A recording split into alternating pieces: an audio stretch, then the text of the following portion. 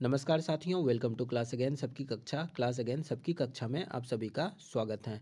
साथियों, इस वीडियो में हम लोग चर्चा करने वाले हैं एक ऐसे मुद्दे के ऊपर, जिसमें आपको पता चलेगा कि सऊदी अरबिया, जो कि एक मुस्लिम कंट्री है, उन्होंने अपना पहला अल्कोहल स्टोर को ओपन करने की बात कह दी है।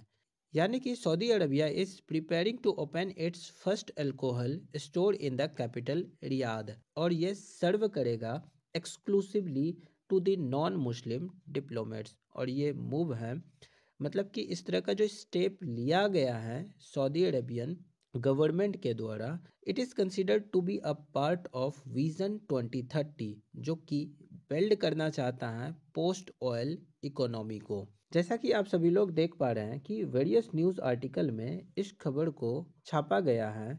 जैसे कि NDTV Mint Times of India BBC सभी लोग यही लिखते हैं कि Saudi Arabia opens its first ever alcohol store but it's only accessible to the select group तो आइए हम लोग इस वीडियो में डिटेल में चर्चा करते हैं और देखते हैं कि मामला क्या था। तो सऊदी अरबिया में जो फ़र्स्ट अल्कोहल स्टोर को ओपन किया गया है, ये ओपन किया गया है सऊदी अरबिया का कैपिटल रियाद में। तो सऊदी अरबिया का जो ये कैपिटल है रियाद, इसी रियाद में जो इनका डिप्लोमेटिक क्वार्टर है, इसी के नेबरहुड में जहाँ की एम्बेसीज और डिप्लोमेट लोग रहते हैं, इसी जगह पे इस न्यू स्टोर को ओपन किया गया है। And this new store is strictly restricted to the non Muslims ऐसा डॉक्यूमेंट में कहा गया है, ऐसा वेरियस न्यूज़ आर्टिकल्स के माध्यम से खबर निकल के आ रही है। The move is a milestone in the kingdom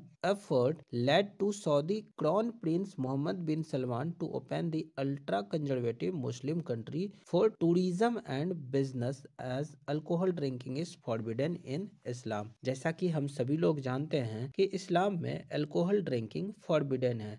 मतलब कि कोई भी व्यक्ति जो इस्लाम को फॉलो करता है, वो अल्कोहल ड्रिंक नहीं कर सकता है। इसके बावजूद जो सऊदी अरबिया का क्राउन प्रिंस है मोहम्मद बिन सलमान, उन्होंने फैसला लिया है कि सऊदी अरबिया में अल्कोहल को वो नॉन मुस्लिम्स के लिए ओपन करेगा। हालाँकि अभी तक ये पता नहीं लग पाया है, यानी कि ये क्लियर नहीं हो पाया है कि ये जो नॉन मुस्लिम एक्सपेट्रिएट्स हैं, उन्हें इस स्टोर का एक्सेस मिलेगा या नहीं मिलेगा, क्योंकि millions of expatriates live in Saudi Arabia वो डिफरेंट कंट्रीज़ से एशिया के डिफरेंट कंट्रीज़ से जा कर के वहाँ पे रिजाइड करते हैं, काम करते हैं। इजिप्ट से जाकर के लोग वहाँ काम करते हैं।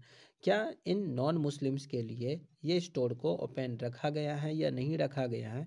इस बात को अभी तक क्लियर नहीं किया गया है, लेकिन इस बात की क्लैरिटी मिल गई है कि विज़न 2030 को ध्यान में रखते हुए पोस्ट ऑयल इकोनॉमी को बिल्ड करने के लिए सऊदी अरबिया ने इस स्टेप को लिया है और नॉन मुस्लिम डिप्लोमेट्स के लिए ये नया अल्कोहल स्टोर को ओपन किया गया है।